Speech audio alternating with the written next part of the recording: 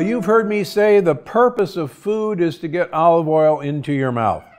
And you've probably seen me take shots of olive oil right here on my YouTube channel or my Instagram. And you might know I even swish my teeth with olive oil for good health. So, why am I so obsessed with olive oil? Well, the truth is, olive oil is one of the absolute best things for your health.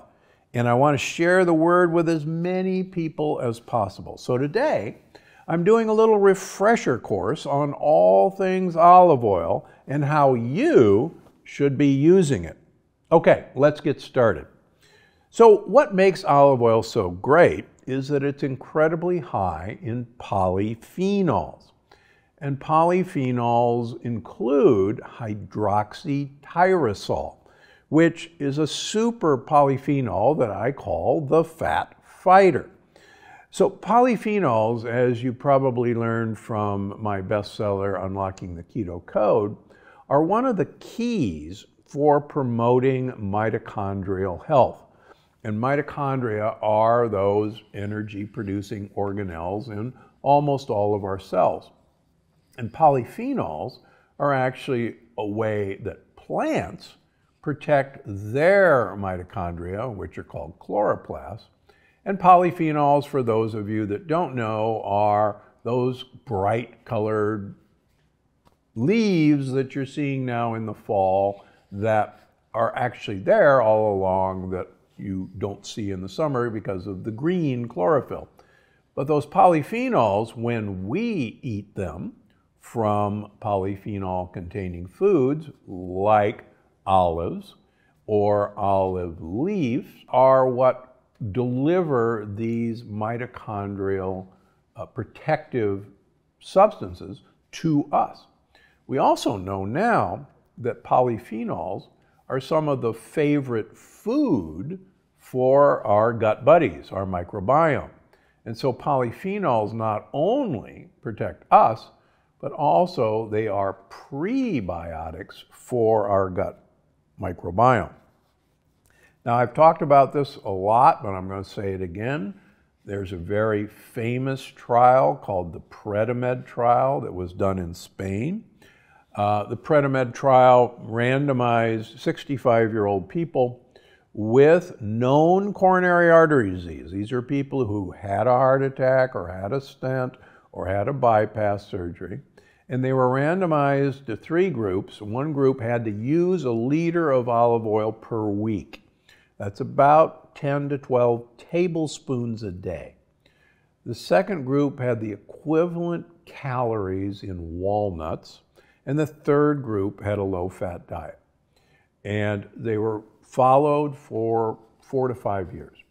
What they found was that there was a dramatic reduction in the group using olive oil in terms of new coronary artery disease events, new heart attack, new stroke, new stent or bypass. Olive oil and the walnuts were very similar, but olive oil won that one.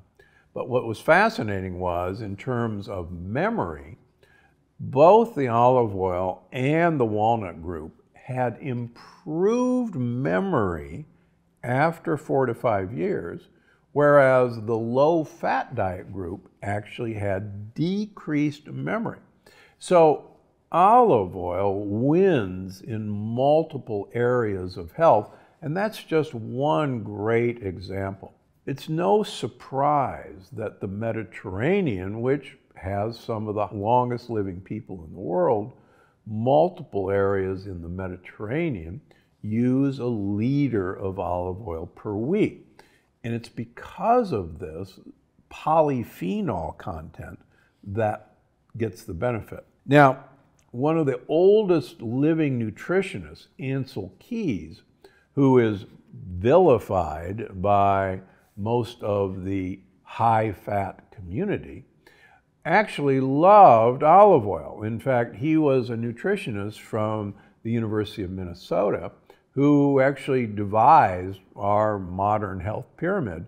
But oddly enough, Ancel Keys retired to southern Italy, south of Naples, and lived just above the village of Acciaroli that I visited, uh, home of the longest living people in the world, and he loved olive oil.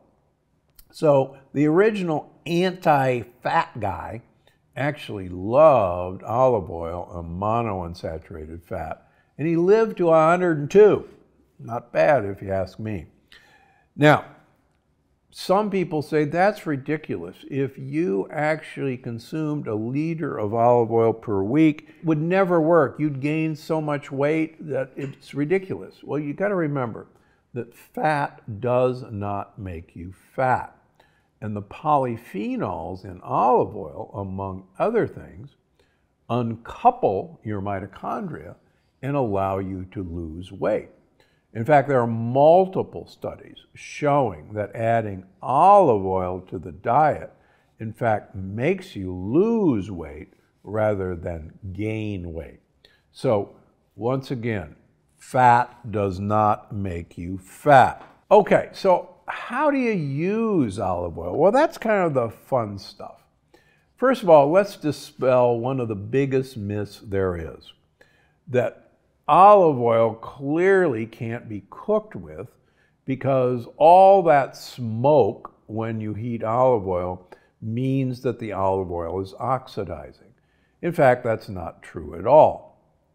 Olive oil actually has the least oxidizable properties of any oil. In fact, it oxidizes less than coconut oil. Yes, olive oil oxidizes less than coconut oil. But where does that smoke come from? Well, olive oil has a very low smoke point.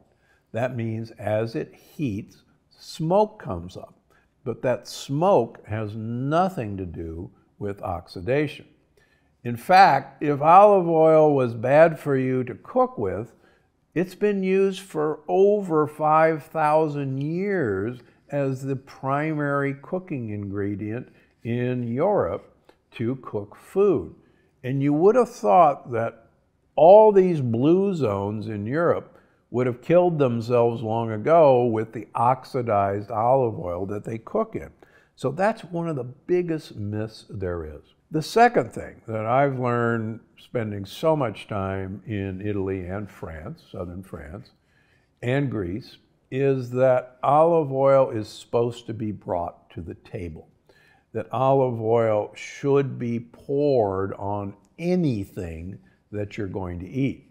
So it's important to realize you don't just cook with it, you bring it fresh and pour it on the things you're going to eat. That way you get a double dose of olive oil with everything you eat. So put it on your vegetables obviously use it in a salad dressing, or drink a shot of it straight every day, like I do. Now, I have tons of recipes for olive oil right here on my YouTube page, including olive oil cake. And it's really one of my favorite. In fact, when we celebrate my birthday here at Gundry MD, we have my famous olive oil cake to celebrate you can have your cake and eat it too, particularly if it's made with olive oil. Now, before you head to the grocery store, there's something you need to know. Most olive oil on the shelves today might actually do more harm than good for your body. Many olive oil products are actually fake, and they're laced with seed oils that could spell big trouble for your health. I'm not saying that they're all fake, but results from investigations from 60 Minutes have shown that many of the olive oils that you trust in, in fact, are not so much olive oil at all. Now, there's things you should look for. In general, the darker the color, the greener the color, the more golden the color, that's undoubtedly a higher quality just based on color. That color is actually from the polyphenols. Now, in general, more bitter is more better. Really strong olive oil should almost make you cough when you eat it and drink it. And that's a sign of those polyphenols. All right, so you've passed the taste test. What about the color of the bottle? Well, olive oil oxidizes very easily in sunlight. So a good quality olive oil should always be in a dark colored bottle. And please don't put the olive oil on the kitchen counter where it can be exposed to sunlight. Keep it in a cabinet where sunlight can't get to it. Now, are there other keys? Well, first of all, you want to look for first cold press. And usually, if you see the words by only mechanical means, that means that they used a uh, olive pressing stone or other mechanical devices to crush and press the olives. First cold press, believe it or not, once they get that runoff from the first pressing, they then run it through again and again. And finally, they can actually crush the olive seed that produces an oil called pomace. Now, there's no requirement that they tell you which of these pressings is going into your olive oil. So look for the words first cold press. Hopefully, you'll see by mechanical means only. The second thing to look for is extra virgin. Now, this has nothing to do with the marital status or sexual status of the olives. It actually has to do with the amount of acid that's detected. Now, that's not an assurance of quality, but it is an assurance that there is a standard of acid level that determines whether something is extra virgin or not. I'd much rather you see first cold press than extra virgin. Third thing is, don't look for a sell by date look for the pressing date. Now, it may have two years because many olives, particularly in the Mediterranean, are harvested in the late fall and maybe even in early January. So you may see uh, harvest date 2022 slash 2023. On the other hand, if you see a single date, that's even better. Now, how long is it good for? In Italy, most olive oil is considered safe to use within a year of pressing, maximum two years. But here's the deal.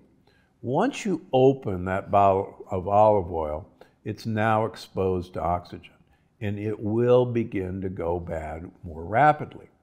That's why, for instance, here at Gundry MD, our high polyphenol olive oil is packed in small bottles. That way, I know you're probably going to use it up quickly before it goes rancid. That's why don't go to a big box store and buy the two gallon plastic sized organic olive oil. Number one, it shouldn't be in plastic. Number two, it shouldn't be clear. And number three, it'll go bad long before you use it up. So buy the smaller bottles and use it up. Beware of a sell by date. Now, unlike wine, olive oil does not get better with age. It's really only going to last a couple of months once you open it up. Okay, so do I love my polyphenol rich olive oil? Absolutely. It contains 30 times more polyphenols than most conventional olive oil as tested in labs. Now, two tablespoons of my olive oil yields the same benefit as one liter of conventional olive oil. So a little goes a long way. Now, if you want to have more, be my guest. You can never overdo the polyphenols in olive oil. But even if you don't use mine, you can find quality oils in any grocery store if you carefully read the labels like I've talked about today. You can even find them in Trader Joe's and Costco. Look for the dark colored bottles. Look for the smaller bottles, not the giant jugs. And look for a pressing date. And that will keep you safe. And don't be afraid to try different olive oils and seek out the ones that have that really rich, bitter, sometimes buttery taste and use them wherever you eat. Uh, I carry my olive oil to restaurants because a lot of restaurants, I don't know where they got their olive oil. And we always have a good time joking, but it goes right onto the table and no one's ever stopped me. I think you're going to love this one. The next time you're worried that you're not drinking enough water and yet you swear you're having a lot of water, think about eating your water instead.